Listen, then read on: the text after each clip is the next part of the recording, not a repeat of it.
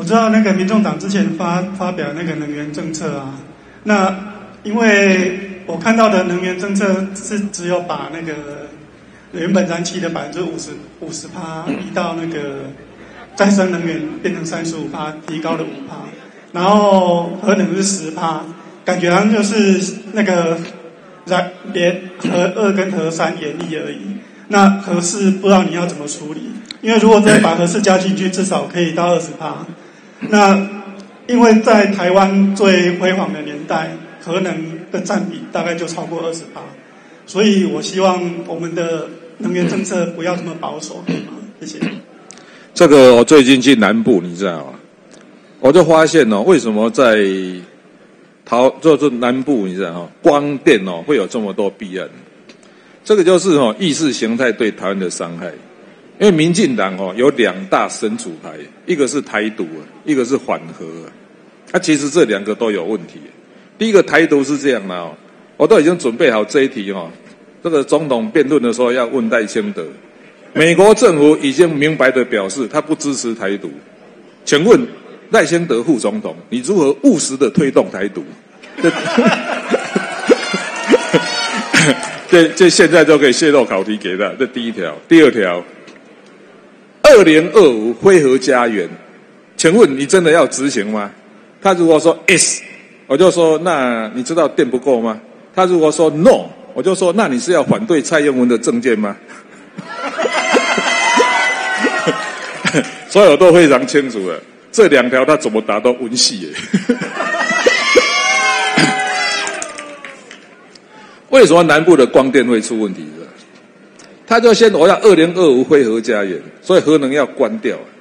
可是那个，按你你关掉以后电就没有了啊，所以他那个风电跟光电哦要快速拉起来。如果按照正常的速度慢慢做，这个就没有问题，因为你一个工程正常招标啊什么弊端就少。啊，他就是为了要快速拉起来，所以就砸钱了。你要知道哈，台电在过去两年亏了四千亿。为什么一度电卖给你三块多，他去买的时候买五块多，还要买到九块的，他为什么要用这么高的价钱买？这样才会才会涨，才会很快速成长嘛。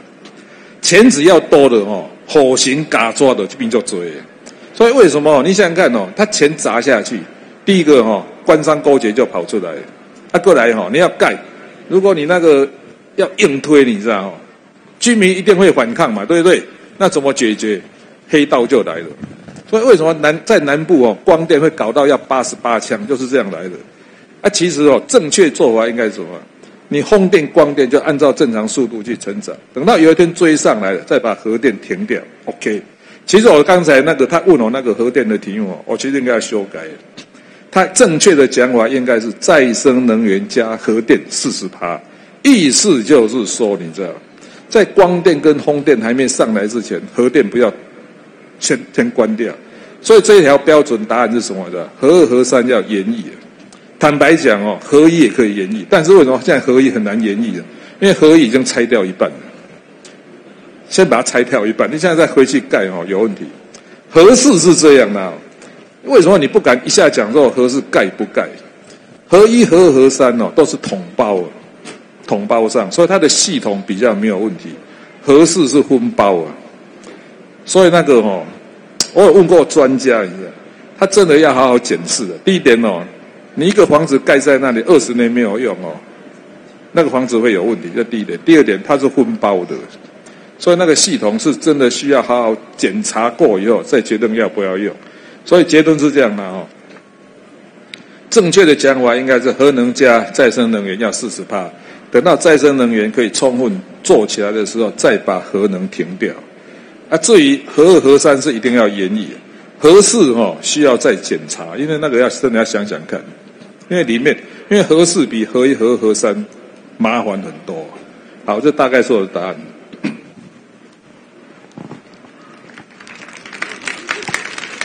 好，来第二位在哪边？哎，第对第八把这边。阿贝，阿贝你好，我我要问的是延续你刚刚的问题。你既然都是是分包，那我有一个问题是，呃，我们在场的各位应该都知道，它在两条地震带上面，请问能用吗？不能用。所以我们不需要再花人力资源去做检视，我们直接，也许有新的政策。我认为郭董事长有一个新的政策叫 SMR 小型核电的开发，我觉得它可以做区域性，符合不同的公司，可以甚至可以补助公司他自己做自己的小型核电厂，不需要动用到我们的民生用电。这一条是这样的啊，有人在讲说，哎，按哪个核子潜水艇也是上面有核子炉啊，对不对？但是这样的哦，任何一个产商业哦，产业哦，要计算它的成本呢。现在是这样的哦，SMR 这个东西哦，到现在为止还没有商业运转，它还是在，比方说核子潜水艇啊这种在用，但是那个价钱太高了，所以回答你的话是这样的哦，也许未来了哈。会有出现那个核融合的哈，或是 SMR 小型核电厂，这个我都知道。问题是哦，现在还没出现，这也是一个很困难的题目，你知道？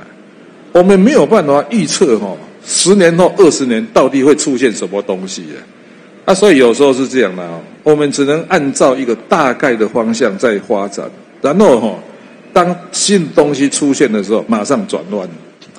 在座各位哈，我想在我们新竹一般来讲说文化水准比较高嘛。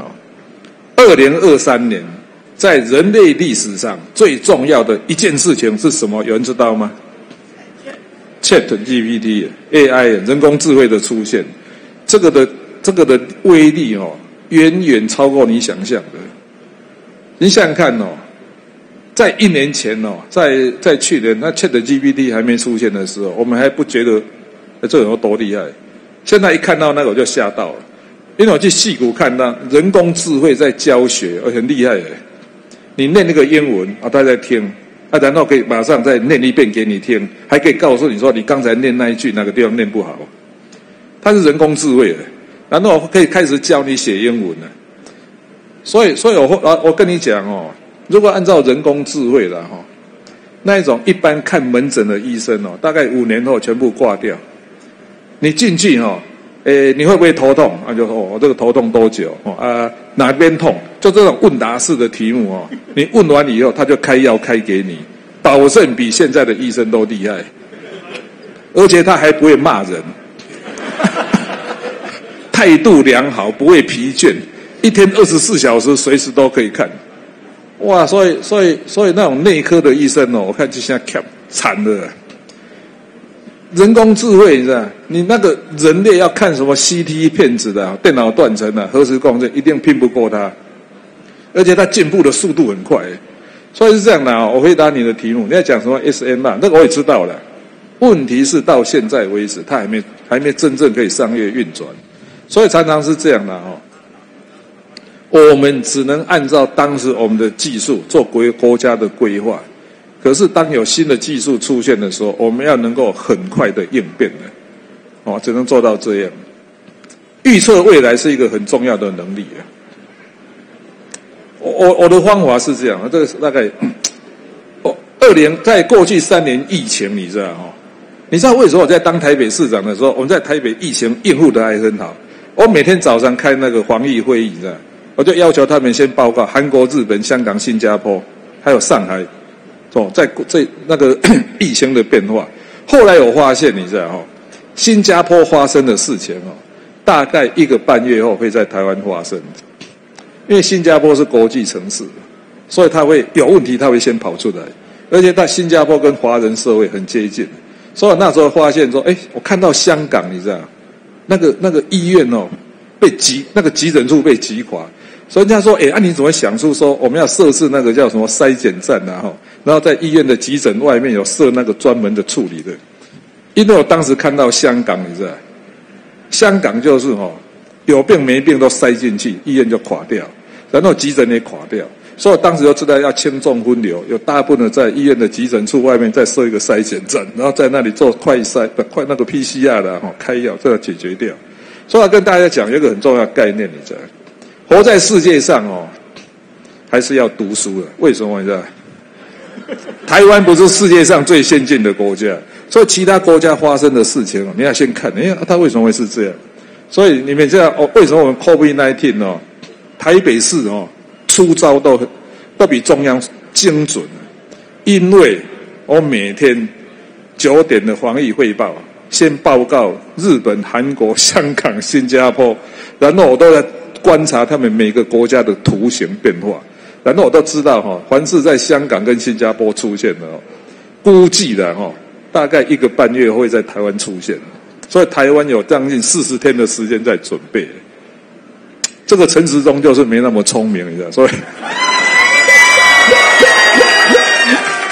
所以会应付的很不好啊！那我们就是，所以跟大家讲哦，知识还是力量哦，看别人怎么做，再思考怎么做。下一题。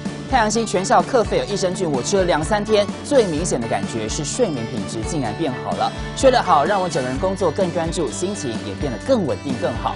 因为太阳星全效克菲尔益生菌，才让我认识到克菲尔益生菌，它是由多支菌种的益生菌所组合而成，不仅能够维护消化道机能正常运作，还拥有多种有益健康的保健功能，相当强大。你知道吗？有台大教授专门研究它，称它是神仙的礼物。上千篇的国际研究证实，克菲尔益生菌不仅帮助肠道健康，肠道菌透过肠脑轴影响全身器官，所以维持肠道菌丛的平衡是解锁身体健康、精神健康的钥匙。对帮助睡眠、维持好情绪真的很有感。也因为这不是药，有季节敏感、代谢困扰、关心恶性细胞风险的好朋友，选择太阳星全效克菲尔益生菌，做好日常的保养，身体健康没负担。每日克菲尔，时刻美好，Good Feel Feel Good，请上快点购健康下单，输入推荐代码有额外的折扣。